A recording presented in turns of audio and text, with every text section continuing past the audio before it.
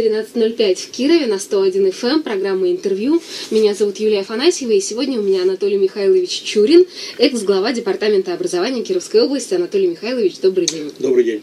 Вот вы возглавляли Кировское образование, чтобы не соврать, 27 лет, и покинули свой пост в июне прошлого года. Чем вы сейчас вообще занимаетесь? Ну, у меня сейчас очень много свободного времени, поэтому так. я занимаюсь тем, что, так сказать, мне больше всего нравится. Нравится это читать, прежде всего.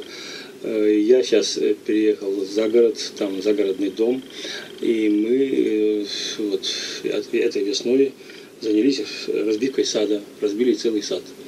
Так что у меня еще две собаки большие, поэтому в общем-то, жизнь идет. Есть чем заняться. Да. А следите ли вы за вашей профильной темой, за образованием? Конечно, я в курсе, так сказать, стараюсь быть всех тех изменений, инноваций, которые происходят, да вообще в курсе жизни, э, как сегодня строится наша система образования, как живет система образования. Поэтому меня э, включили в коллегию департамента, Министерства образования. Я стал членом общественного совета, поэтому посещаю что-то, так сказать, черпаю какую-то информацию оттуда. Поэтому, в общем-то, ну, по мере, в силу возможностей. А можете ли вы выделить главные события в отрасли образования Кировского за последний год, на ваш взгляд? Ну, в общем-то, к моей радости, система образования, она работает стабильно, на мой взгляд. Как бы каких-то серьезных потрясений, изменений пока не происходит. Но меня беспокоит другая ситуация, что серьезно сжимается э, финансирование образования. Вот я, когда уходил, э, оптимизация была расходов где-то на 10%, в этом году снова на 10%. И, на мой взгляд, это уже ну, приближаемся к критическому какому-то такому порогу, за которым ну, просто дальше двигаться нельзя. Поэтому вот это сегодня, на мой взгляд, это одна из самых таких напряженных тем, серьезных очень тем. И, конечно, это тормозит и развитие материальной базы. Школы требуют серьезного э, э, ремонта, вкладывания средств это надо обновлять и материальную, учебную базу обновлять надо. Ну и это сказывается, видимо, на, на заработной плате наших учителей, потому что тут тоже есть какие-то нюансы, которые вот за последнее время появились. В целом ряде районов э, зарплату э, снизили. А если говорить о сокращении, да, порядка 10%, а какой выход из этой ситуации вы видите? То есть понятно, что бюджет очень тяжелый, год очень тяжелый. Во всех коммерческих компаниях режут затраты, в правительстве режут затраты. А каким образом выходить из этой ситуации можно, на ваш взгляд? Ну, понимаете, я тут проработал достаточно долго. И могу сравнивать, как это было, допустим, в начале 90-х, в конце 90-х. Там тоже очень сложная была ситуация. Э, не хватало денег, и заработную плату не выплачивали иногда даже месяцами. Но ведь, понимаете, отрасль не может жить без денег. Это такая затратная сфера. И правительство все время подчеркивает, что надо вкладывать в систему образования соответствующий уровень финансирования должен быть обеспечен. Поэтому, когда мне сегодня говорят и, и говорили о том, что денег у нас нет, э, поскольку денег нет, значит мы не можем финансировать, но дети-то сегодняшние не учатся, они должны получить достойное образование, и поэтому тут отговорками просто не отделаешься. А что сделать? Ну, прежде всего, должна работать экономика. Потому что система образования сама денег не произведет и себя самофинансировать не может. А вот экономика должна развиваться, она должна, так сказать, стабильно функционировать и вносить, пополнять бюджет, иначе просто не, не сделать ничего. Поэтому вот я считаю, что в сегодняшних условиях надо очень серьезно задуматься над тем, а что можно и каким образом изменить э, систему экономическую нашу, которая бы могла работать так, чтобы обеспечивать все социальные сферы. А на сегодняшний день, пока мы видим, что расходы у нас э, урезаются не только в образовании, но серьезно страдает медицина, социальная э, служба, так сказать, и так далее, и так далее. То есть все, что сегодня напрямую поддерживается бюджетом, бюджет урезает. Поэтому это очень, на мой взгляд, опасная штука. Но ведь вы себе представляете, да, бюджетный процесс вот в данный момент, на ваш взгляд, откуда можно взять денег на образование? То есть мы понимаем, что экономика тоже в одночасье не заработает, и предприятия в одночасье не да. А, перечислят бешеное ну, количество налогов. Вот понимаете, внутри самой системы, если искать деньги внутри самой системы, это очень сложно уже стало. То есть оптимизация проходила в несколько этапов, э, она оптимизирована до, до такой степени, что... Уже оптимизировать да, нечего. Да, оптимизи... на самом деле оптимизировать больше нечего, потому что те расходы, которые сегодня заложены на, на содержание э, системы образования, они идут фактически только на одну заработную плату учителей. Ну, дальше напрашивается, если идти по этому пути, значит, напрашиваться вот, надо э, сокращать, так сказать, количество учителей и так далее. Я в прошлом году, когда еще работал, э, у меня было такое предложение, допустим, ну хорошо, у нас денег с вами нет, давайте мы увеличим хотя бы э, наполняемость классов. Вот у нас сегодня по норме 26 человек в классе. Это не то, 25 э, человек, не то, не все. То есть все равно стоит в классе 13 парт на 26 человек. Ну давайте мы сделаем 30 человек. В свое время, когда мы учились, было в классах и больше 30, до 40 человек доходило. Детей учили. И сегодня это, а это сразу дает скачок огромный. Это экономия идет вообще-то и не ведет к резкому ухудшению образования. Вот ну, качество, можно, да? да, можно. Я знаю, что губернатор выходил с таким предложением наверх, и Министерство образования, но пока вот эту идею как-то я не, не вижу, чтобы я поддержал тут. Хотя это вот реально, где можно было бы найти определенную часть средств, и это стимулировало бы дальнейшее развитие системы образования. Угу. Ну вот смотрите, вы перечислили оптимизацию, да, как одно из главных событий минувшего года. А еще? Ну, в общем-то, я сказал, что меня удовлетворяет то, что система образования работает стабильно, то есть нет каких-то таких, ну, вот, падений, там, ну, не знаю. Взлетов тоже не произошло, честно скажу, но и падений тоже не было. Поэтому... А как вы следите за падениями? По результатам ЕГЭ? Ну, не только. Это ведь, понимаете, это самочувствие внутри педагогических коллективов, как они себя чувствуют. Это, в общем-то, я очень, у меня много контактов, так сказать, досталось. И я, в общем-то, информацию получаю из разных рук. Поэтому вот нет такой э, ситуации, когда бы резко ухудшилось положение внутри э, самой системы. Э, по ЕГЭ. Ну, по ЕГЭ сказать сегодня сложно, поскольку результаты мы еще не знаем. Вот они придут, где-то начнут после 15 числа первые приходить, мы тогда увидим, что это, так сказать, за... Э, есть изменения, нет изменений. Ну, в общем-то, вот на сегодня пока так. Так что ну, это слишком маленький период, понимаете, сама по себе система, она очень такая консервативная, она не может резко в течение там буквально нескольких месяцев что-то поменять, это, это очень сложно, поэтому даже, может быть, сегодня и нет смысла нам как-то искать какие-то... Это может, если, если ЧП случилось, да, это беда. Но у нас ЧП не произошло, так что это хорошо. Ну вот про ЕГЭ мы с вами еще поговорим. Я хочу вернуться к этой теме. Мм. А накануне, когда я готовилась к программе, я нашла ваше интервью 2014 года по порталу городкиров.ру, и вы тогда говорили о системе оплаты труда молодых специалистов. Вот я сейчас вас процитирую. А если учитель со стажем имеет какие-то гарантии, то молодые люди, которые приходят в школу, никаких гарантий не имеют. У них начальная ставка 5300 рублей, а дальше идут различные доплаты. Это, конечно, молодых специалистов не устраивает, поэтому надо менять систему оплаты труда учителей учителей. Вот с тех пор что-то поменялось? Нет, система осталась та же самая. И, в общем-то, я в прошлом году, выступая вот, даже позапрошлом, 2014 году, выступая на Бустовском совещании, я говорил о том, что вот анализируя всю систему оплаты труда, которая сложилась сейчас не только в Кировской области, но и в других территориях, я пришел к такому выводу, что советская система оплаты труда учителей, она была гораздо справедливее. Во-первых, что, к чему привела вот эта система оплаты труда, которая сейчас есть. Э, учителя разных регионов получают разную заработную плату. Это Почему? в едином образовательном пространстве. Почему? Потому что все исходит из привязки к, э, к уровню жизни в том или другом регионе. То есть средняя заработная плата, допустим, Кировской области одна, а средняя заработная плата, э, допустим, в Омской области или в Тюменской области совершенно другая. И поэтому средняя заработная плата тех учителей гораздо выше, чем, допустим, кировских, кировских учителей. Кстати, э, расходы на заработную плату в Кировской области одни из самых небольших в стране. В стране. Да, и это, конечно, тоже о многом говорит. Поэтому вот та система, которая была в советской школе оплаты труда учителей, она была совершенно, э, на мой взгляд, более справедлива, потому что учитель знал, он получал свою ставку, допустим, 18 часов за ставку, он получал энную сумму средств, он получал доплату за проверку тетради, он получал доплату за кабинет, он получал доплату за классное руководство. Это все было реально, так сказать, да? А, а разве сейчас не так? То есть а есть какая-то минимальная ставка, и остальное ведь тоже все доплаты, а доплаты, сегодня доплаты. там разные доплаты, которые вводятся на уровне образовательного учреждения. Зачастую эти доплаты из-за отсутствия средств отменяются. И поэтому сегодня и учитель точно не представляет, сколько он получает за ту же самую проверку тетради, и получает ли он вообще за, э, содерж... за заведование кабинетом и так далее. То есть, а раньше это были все фиксированные суммы средств. То есть, и заработная плата учителя, она была прозрачна.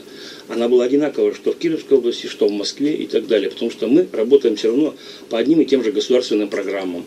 Мы э, работаем с, ну, с одними и теми же детьми, с, тем, с разным возрастом, правда.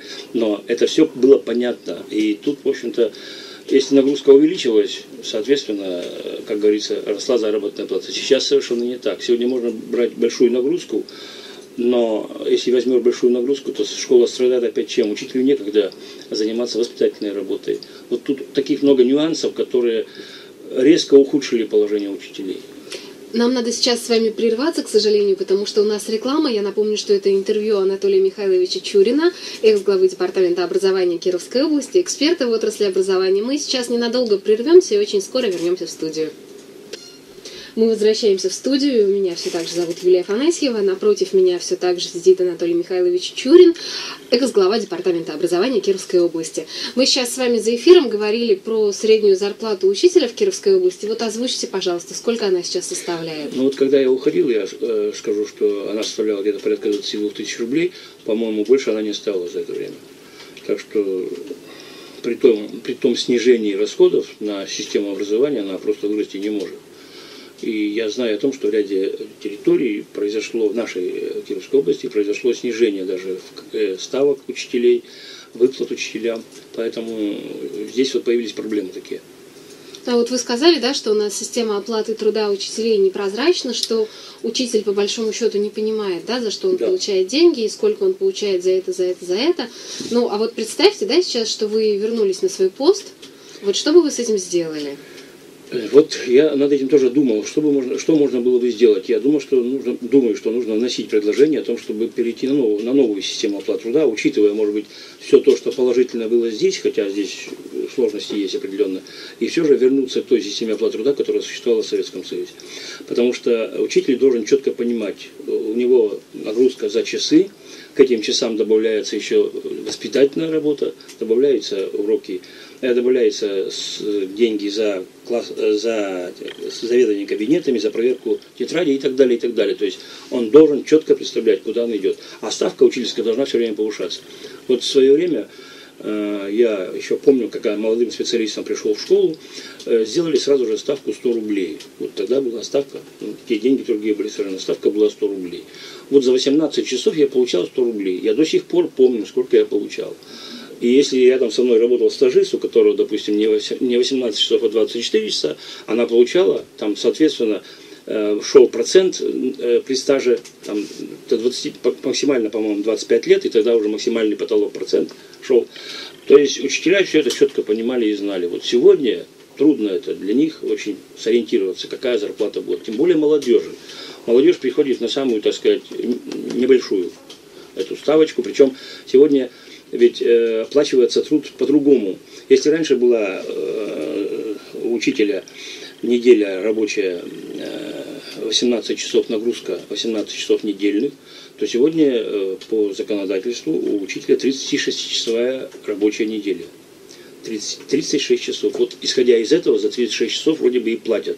То есть тут за все платят уже. Ну, то есть сюда входят и уроки, все, и проверка все тетради, да, и заведование да. кабинетом, и воспитательная да. работа, и все, чем учитель вообще занимается да. на рабочем Это вот 36 часов, он все, так сказать, и работает. Но ведь, э, конечно, учитель каждый стремится взять побольше часов, с тем, чтобы заработать чуть больше. Но когда он берет большую нагрузку, у него совершенно не остается э, возможности работать с детьми, с классом. Это очень сложно, когда у тебя там 25-30 часов, а еще у тебя класс есть, с которым надо постоянно общаться, какие-то мероприятия проводить. Для этого это становится все сложнее. И поэтому я видел, когда работал, что э, какой-то, так сказать, объем воспитательной работы, он потихонечку, так сказать, снижается. И не по вине учителей, кстати. Вот к чему это все привело в итоге. А вот вы, кстати, в этом же интервью говорили, что а, работать в школу идет не самая лучшая часть молодежи. Я помню, вы приводили в пример Финляндию, где отбирают молодежь, которая идет учиться в педвузы. Да. И вы тогда говорили, что у нас в Кировской области уже разработаны критерии для отбора а, студентов, да, которые пойдут учиться на педспециальность. Это сейчас работает, действительно? Э, вот да, э, был сделан такой шаг, когда мы стали отбирать э, лучших ребят из тех, кто желал, так сказать, поступить на педагогические специальности. И я знаю, что первый выпуск в прошлом году состоялся. Первые ребята, которые учились у нас и получали дополнительную стипендию из, от губернатора, они 46 человек, по-моему, их выпустились. Вот не знаю, сколько из них реально дошло до школы, но, по крайней мере, этих детей мы держали в поле зрения всегда и, как бы так сказать, ориентировались на них. Для них были подготовлены рабочие места, и они знали, что уже без работы они не останутся. А была у вас в департаменте образования статистика? Сколь, какой процент выпускников педвузов пошел реально работать учителем? Была такая, мы каждый год анализировали, на память вот сейчас не могу вспомнить, но процент был невысокий, примерно каждый четвертый доходил до школы, из тех, кто выпускался. Ну, то есть в пределах 25% да. получается. Но, ведь, понимаете, ситуация какая? Если раньше э, вот, педагогический вуз имени Владимира Ильича Ленина, там потом чисто готовил, занимался подготовкой учителей, то э, и распределялись эти учителя, как говорится, по-другому, не как, не как сейчас вот, в последнее время, то сейчас э, учителей стали готовить совершенно иначе. То есть э, ВУЗ стал готовить специалистов по конкретной области знаний, то есть, допустим, филология, история и так далее. И я все время э, говорил о том, что мы потеряли очень важный момент, что вот если врач э, готовится, допустим, к операции, он должен четко знать методику проведения этой операции, иначе им просто ее не сделают. Так и учитель, если он преподает, допустим, историю, он должен знать очень хорошо методику, причем методику разную. Методика преподавания, допустим, э, в, начале, в пятых классах это одна методика, а в одиннадцатом классе это уже другая методика. Ну, то есть вы хотите сказать, что студентов учат предмету, но не учат преподавать да, этот предмет? Да, да, да. То есть он приходит как историк, как историк. Он знает предмет, ну, насколько знает, это другой вопрос. Но он совершенно не готов к тому, как преподавать этот предмет. А ведь кроме э, методики нужно знать филологию, фи, фи, то есть знать, как здоровье ребенка, как вообще-то физиологию. физиологию ребенка, да. Нужно знать э, еще многие вещи, которые психологию, к тому же того же ребенка, разновозрастную психологию, чтобы понимать, как же с ним общаться. А причем перед тобой сидит не один, не два человека, перед тобой сидит целый класс. И ты должен понимать возраст каждого ребенка, как с ним обращаться. А что произошло? Изменилась методика преподавания в вузах? Что случилось? Вот то и случилось, что перешли совершенно, так сказать, опять же, на западный э, образец преподавания – и, а на Западе там нет же педагогических институтов, там есть только университеты. Университеты готовят специалистов. Вот и, и, как говорится, мы тоже пошли по этому пути и пришли к тому, что сегодня вот получаем тех специалистов, которые не готовы к работе в школе. Я помню случай, э, несколько лет назад правительство Российской Федерации стало предлагать э, молодым людям, которые пойдут в сельскую школу, по-моему, 500 тысяч рублей – подъемные. Ну, подъемные. Такие, да, подъемные. Причем выплачивали их два раза, 250 и 250 за два года. Кстати, мы тоже шли по этому пути и тоже какие деньги платили. И вот э, к нам приехало, по-моему, 25 человек. У нас квота была одна из самых больших в Российской Федерации. И э, мальчишка, по-моему, вместе с женой они приехали в какой-то северный район. Они там все устроены были и поработали совсем немного. Среди учебного года они решили оттуда уехать. Когда мы стали разбираться, в чем дело, вот этот молодой человек сказал открыто и говорит, что я совершенно не, не готов работать с детьми, потому что я многого не знаю. И вот это как раз и одна из очень серьезных сегодня проблем, которые все больше и больше будут нарастать. Потому что молодежи все равно в школу придет больше, обновление все равно какое-то будет, ветераны не могут работать до бесконечности. И поэтому вот эта проблема, она сегодня остается. Анатолий Михайлович, мне кажется, что здесь ситуация не отличается от любой другой сферы, потому что вот представьте себе студента, который отучился на бухгалтера. Он придет работать на предприятие, он что, сразу сядет работать бухгалтером? Да никогда. Нет, конечно, но я понимаю, что на бухгалтер, допустим, там этот срок адаптации для бухгалтера может быть будет меньше, А для человека, который работает каждый день, выходит перед классом и не знает, как работать с этим классом, он может там проработать, ну, неделю, две, месяц. Он проработал там, по-моему, полгода и сбежал. Все. Он пош... уже не смог работать.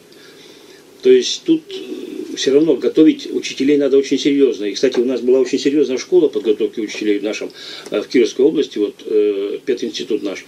Он очень серьезный. Это к вопросу об объединении вузов. Да, это, вот, кстати, это очень серьезный вопрос. Кстати, я прочитал, что создается пединститут внутри этого э, государственного. Внутри объединенного да, вуза. Который будет готовить только да? учителей физкультуры, дальше учителей начальных классов, и третье – воспитателей детских дошкольных учреждений. Все. Я не нашел больше, а где будут остальные? А все остальные где? Не знаю.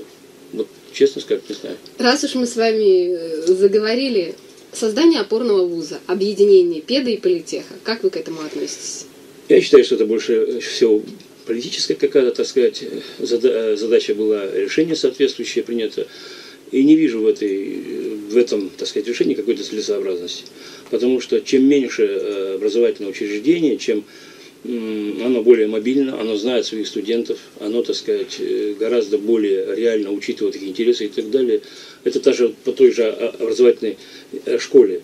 Чем больше школа, тем сложнее в ней работать. А если школа средняя такая, где-то, допустим, 400-500 человек, там можно знать каждого ученика в лицо и быстро очень реагировать на всякие изменения. Поэтому я не знаю, как здесь будет. Вот, когда здесь а будет... как же вот все говорят экономия, эффект масштаба? Понимаете, экономия, она в, этой, в этом случае, что не оправдана. Нельзя экономить на том, что будет нашим будущим. А будущее – это наша молодежь. Поэтому экономить на молодежи – это самое последнее. Наоборот, надо вкладывать в молодежь. А сегодня я вот э, был на последнем общественном совете, и мне сказали о том, что новые учебные э, планы, которые э, предлагаются для высшей школы, они очень интересные. Из них 40% аудиторных только, а 60% это все самостоятельная работа. Представьте себе, вот 60% я времени должен тратить на себя, учиться самостоятельно, а только 40% аудиторных. И каков результат будет, никто ведь пока не сказать не может. Ну, кому надо, тот научится, видимо, такой будет результат. Ну, вот это правильно, видимо, так и рассчитывают. Если тебе надо, учись, а если не надо, то можешь не учиться. Но ведь это, это опасная вещь, потому что ну, мы так устроены, особенно молодые люди, устроены так, что не всегда ведь себя заставишь, вот, как говорится, потратить большую часть времени на то, чтобы самому овладеть какой-то наукой. Это очень сложно. Поэтому, когда даже под руководством опытных педагогов не всегда получается и знания, так сказать, добывается, а тут надо самому добыть эти знания. Так что тут надо его научить сначала, как добывать эти знания. Ну, собственно, для этого и создана высшая школа, насколько я понимаю. Ну, может быть так, да. Но, к сожалению, пока это, может быть, долго будет еще, так сказать, отрабатываться. Это только начало какое-то определенное. И пока результаты предсказать достаточно сложно. Ну вот я предлагаю после короткой рекламы вернуться к этой теме. Мы сейчас с вами снова должны прерваться. Я напомню, у меня в студии Анатолий Михайлович Чурин. Сейчас мы уйдем на рекламу и через пару минут вернемся в студию. Мы возвращаемся в студию. Меня все так же зовут Юлия Ханасьева. Напротив меня все так же Анатолий Чурин, глава Департамента образования Кировской области. Анатолий Михайлович, мы с вами перед рекламой обсуждали создание опорного вуза, и вы сказали, что это а, вопрос больше политический, нежели вопрос какой-либо экономической целесообразности. А что вы имели в виду вопрос политический? Ну, понимаете, сегодня вот много решений принимается, но на первый взгляд эти решения, собственно говоря, ну, в какой-то степени, может быть, оправданные или там правильные решения. Но когда это все касается уже практических, так сказать, получаешь обратный результат. И вот это ну, как-то очень напрягает. Когда по стране сократили практически все педагогические вузы, которые готовили учителей, сегодня их осталось буквально там где-то несколько десятков, а были они практически в каждой области – вот. И сегодня э, объединяют э, ну, вузы. Вот сегодня было четыре, у нас вуза осталось теперь только три как бы, э, вуза. И поэтому, естественно, возникает вопрос, ради чего все это делается. И если бы от этого был только результат, во-первых, огромная материальная база, ей надо управлять, ее надо содержать. Расходы будут ничуть не меньше, чем они были.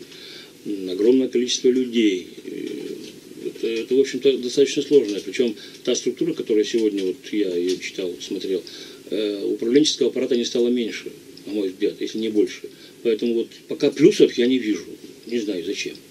Вот как простой пешеход сегодня, я не знаю, для чего это сделали. А, как вы считаете, ухудшится ли качество образования? На мой взгляд, по крайней мере, на первых порах, да, пока эта, может быть, система не будет отработана, пока не найдут, э, не определят слабые места, не дают возможности для роста, да, это все возможно. Поэтому тут, так сказать, вот, вот кстати, вы мне сейчас сказали, что вы заканчивали наш политический да, да, институт. Да. Ну, я задам встречный вопрос, а почему не по специальности вы работаете? А, потому что пока я училась пять лет на специальности финансы и кредит, я поняла, что это не мое, и никогда на ней я работать не буду. Вот. Поэтому вот в этом вся и беда заключается, что очень много сегодня тех, кто учится э, в наших вузах, они не идут работать по этой специальности. И это большой процент, кстати. И вот как заинтересовать и сделать так, чтобы молодежь выбирала именно то, что в том жизни пригодится, у нас ведь... А мне, кстати, пригодилось в жизни моя Я понимаю, любые знания, они, конечно, пригождаются.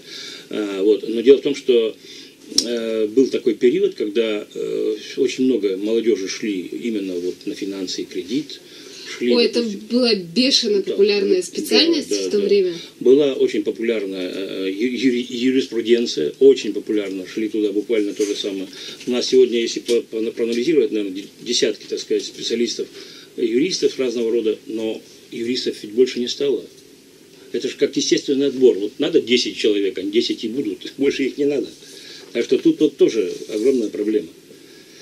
А надо сегодня и очень четко понимать, что надо готовить прежде всего людей для э, экономики, чтобы экономика подпиталась молодежью, и, это, и нужны серьезные рабочие руки, так что тут но с другой стороны, вот я же не уехала, я работаю в Кировской области на коммерческом предприятии. То есть экономика мной, наверное, тоже подпиталась. Какая разница, на какой специальности я работаю? Нет, разни, разница может быть э, только в одном, что государство потратило средства, а человека, который нужен был на, на данном участке, он не получил. Я не касаюсь вас конкретно, потому что таких э, очень много.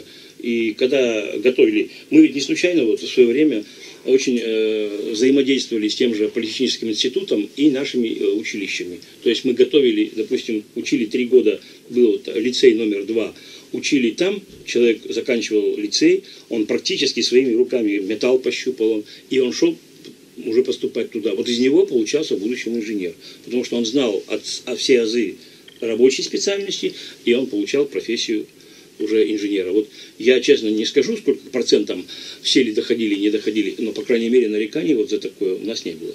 Антон Михайлович, а давайте про ЕГЭ с вами поговорим. Ну, давайте. Десять минут осталось до конца нашего эфира. Кстати, если уже говорить конкретно про меня, я была в том выпуске, который сдавал ЕГЭ первыми в Кировской области. То есть да. я представляю, что это такое. А, ну, новый ЕГЭ у нас начался. То, что было в начале, это Я понимаю, что отличает. это две большие разницы, конечно. А вот э, федеральные СМИ недавно написали о том, что вроде как все становится лучше, меньше школьников ловятся шпаргалками, меньше школьников удаляют за нарушения, а, что утечек заданий в этом году все это не случилось. Но, с другой стороны, без скандалов все равно не обошлось. Я говорю о том, что в московской школе, в, в школе Красноярска, в школе Ростова детям не хватило чистых бланков, и в результате дети сделали задание на черновике, но в чистовик их не смогли не переписать, им придется пересдавать ЕГЭ. А, вот мне интересно, это что? Это облажались, это сознательно кто-то ошибся. По какому принципу вообще это происходит? Как заказывают бланки на ЕГЭ? Ну, я думаю, что это несознательно, но это все равно ошибка. Это просчеты тех, кто, в общем-то, э, заказывал эти бланки и так далее. Это, это явный, так сказать, просчет. Есть какой-то вот, э, ну, не знаю, норматив, гласный или негласный, столько-то бланков на одного ученика? Э, нет, ну, на ученика должны быть полностью заказаны все бланки, на каждого ученика. Но есть ведь есть жизнь, и эти бланки могут быть испорченными по каким причинам, так сказать, и так далее, и так далее. И всегда заказываешь больше этих бланков. Поэтому надо было просто учесть, наверное. Я не, я не знаю, в чем там причина, поэтому не могу судить. Но, слава богу, это не у нас произошло. Поэтому... Э, ну, то есть каких-то нормативов нет, что вот у нас там, не знаю, столько-то тысяч таких, человек нет, за, нет, заканчивает таких школу? нормативов нет. Это делается, ну, как бы исходя из, реалий, из реалий и понимания того, что могут произойти какие-то такие ситуации, которые должны быть учтены. Вот это прежде всего. А то, что вот там нормативы, допустим, заказать там на тысячу учеников, тысячу пять бланков, ну, честно говоря, такого не помню. такой норматив был. Ну, то есть, получается, сидит какое-то ответственное лицо, и оно примерно в уме прикидывает, Нет, что нам столько-то бланков. Ну почему в уме? Мы же знаем, Хорошо, не в уме, на Нет, уме, бумаге. конечно. Количество учащихся известно, количество тех, кто пойдет сдавать по каждому предмету тоже известно. Это заранее все делается, и поэтому, исходя из этого, и готовятся расчеты и заказываются бланки. Поэтому я, честно говоря, удивился, когда прочитал эту информацию о том, как можно было не досчитаться вот этих запасных бланков и оставить детей вот в такой ситуации. Это, конечно, очень обидно, прежде всего, детям. И ну, я сказал бы, стыдно для тех, кто вот это все проводил, эти экзамены. Вот вы знаете, мама одной из школьниц э, написала на Фейсбуке, ну, в общем-то, пост, который можно назвать криком души, я ее процитирую. Вот она пишет, что детей заставили писать заявление на апелляцию под диктовку. Им запретили писать о том, что бланки закончились по вине организаторов, и мою дочь под давлением четырех взрослых человек заставили вычеркнуть из заявления эти слова. Я представляю картину, стоят четыре учителя и наезжают на девчонку на предмет неправильно написанного заявления. А вот за это, как вы считаете, должен кто-то понести наказание? Это уже, знаете, из области морали и нравственности, когда человек не может так поступать. Нормальный человек не должен так поступать, тем более по отношению к детям. И, естественно, таких людей я бы строго наказал. Очень строго. А кого? Учителей, Конечно. Тех, кто начальников отрасли образования Нет, этой области. Те, кто Кого? организовал все это дело. Организ- Там нужно цепочку всю выстроить легко. Там дойти до, до- до всех до тех, кто за это отвечал. Они все известны, эти люди. Но если это произошло в Москве, ну кого наказать? А, как это называется? Министра образования, кто у них в Москве? Ну, них там департамент образования. Или департамент? Ну, я не думаю, что э, глава департамента или, значит, там руководитель департамента отвечал конкретно за каждое это. Но там есть люди, которые отвечают за заказы, за то, что, э, ну, хорошо, я допускаю, что ошибиться можно всегда. Человек, как бы, тот, кто не работает, тот и не, не ошибается. Но вот заставлять детей писать неправду в заявлении, вот это, за это наказывать надо строго, очень строго. Потому что это урок детям. Это очень нехороший урок. И учитель не может пойти на такую, так сказать, на такой шаг. А вот э, просто интересно, ну, интересны, да, мотивы учителей, почему э, так поступили. Понятно, что мы не залезем в голову к другим людям, но тем не менее. Вот учителя за какие-то нарушения на ЕГЭ. А, Его что, увольняют, учителя, который присутствует на ЕГЭ, то есть а, ему портят карму. Каким Вы образом? Понимаете, вы э, знаете о том, что на ЕГЭ присутствуют не те учителя, э, Да, чужие учителя. чужие учителя. И естественно, что они, как говорится, не знают тех детей, которые перед ними, им разница уже большая. Не, ну а какая разница, знают или не да, знают? да, я понимаю. Но вот бывали у нас такие случаи, когда если бы ты знал, э, ну, так сказать, ребенка более, так сказать, внимательнее, то можно было бы избежать многих конфликтных ситуаций. Но, к сожалению, это вот не происходит. Поэтому это одна из тоже из тех причин, которые... э, я, я сам работал учителем, я 17 лет проработал учителем, и когда у меня сдавали мои школьники экзамены, то я вместе с ними переживал, а как они меня сдадут. И поэтому я себе не позволил бы никогда, чтобы, так сказать, э, во время экзаменов, ну, подставить этих детей или там еще что-то. А их подставили, этих детей, просто, в общем. Нет, ну подождите, а вот учитель, который присутствует на ЕГЭ, да, который следит за тем, чтобы все было э, правильно в рамках, если у него вдруг э, на его подшефном участке произойдет какое-то нарушение, ну что, этого учителя его премии лишат Ну, это, школы, это решение выгонят? принимали не те, кто сидели в данной аудитории. Это, это другие люди принимали, которые отвечали за проведение экзаменов, допустим, в том же э, районе и так далее. Это люди другие, другого уровня. Не сам учитель. Он не может принять такое решение. А этим учителям их тоже заставили заставить детей, чтобы написали так, как надо. Это вот другой вопрос. Поэтому тут искать надо виноватых не среди учителей. На мой взгляд, я так считаю, что учитель, какая, он же понимает, что перед ним ребенок. И он, если такая ситуация случилась, он просто действительно сказал, напиши заявление, что да, вот такая ситуация. А ему подсказывают, нет, ты- пусть вычеркнет это. Это, это другое уже кто-то сделал. А, Есть инициатива, если я не ошибаюсь, э, законодательного собрания Карелии об э, отмене ЕГЭ. Есть, я знаю об этом. Вот как вы к этому относитесь? Понимаете, вот сколько лет существует ЕГЭ, всегда к нему Столько лет относились... спорят? Да, столько лет спорят. Во-первых, сама по себе идея, чтобы все дети э, одинаково проверялись на государственных экзаменах, то есть по, по одинаковому проверялись. Ведь когда мы учились с вами в школе, ну вы уже, так сказать, не застали, у нас же из собственных учителей была, создавалась комиссия, которая проверяла, проверяла знания учителей. Э, Списать, э, ну, кто-то списывал. Которая проверяла знания учителей У- или детей. Учащийся, учащийся, я ошиб- ошибся. Поэтому не нужно было никаких вот этих громоздких, как сегодня, камер в каждом, конкрет, каждой конкретной аудитории, это еще не одна. Там на входе э, рамка э, с металлоискателем и так далее. То есть тут нагромозили все, что угодно. Конечно, это, так сказать, ну, ради делать, опять же, ради чего? Благо, вроде бы. Мы должны знать, каково качество образования во всей стране, во всех регионах. Вот должны знать, потому что вот единое задание для всех и так далее. Но мне кажется, что и в свое время, и вот э, в раннее время можно было тоже знать, какого качества в стране, потому что давались те же самые контрольные работы, они анализировались, проверялись, но вот такого выхода в общество, какое качество дает школа, как-то не было принято. Сейчас это ста- стало модным, там, в общем-то, но оно несет вот в себе вот эти все нюансы, они несут, конечно, много очень вопросов. И, во-первых, опять это система американская. Я в свое время, еще в начале 90-х годов был в Америке. Там существует такая система, что э, вузы, ну и это сейчас и принято у нас, они объявляют, э, э, так сказать, балл для будущих Поступления. да, балл поступления, а учи- ученик должен получить соответствующее количество баллов, чтобы пройти и так далее. Вроде бы вот так должно быть. Но и там с вузами были много вопросов было у нас. Эта вся система еще как бы становления шло. Но к тому, что проверяется в едином э, ключе, это может быть плюс.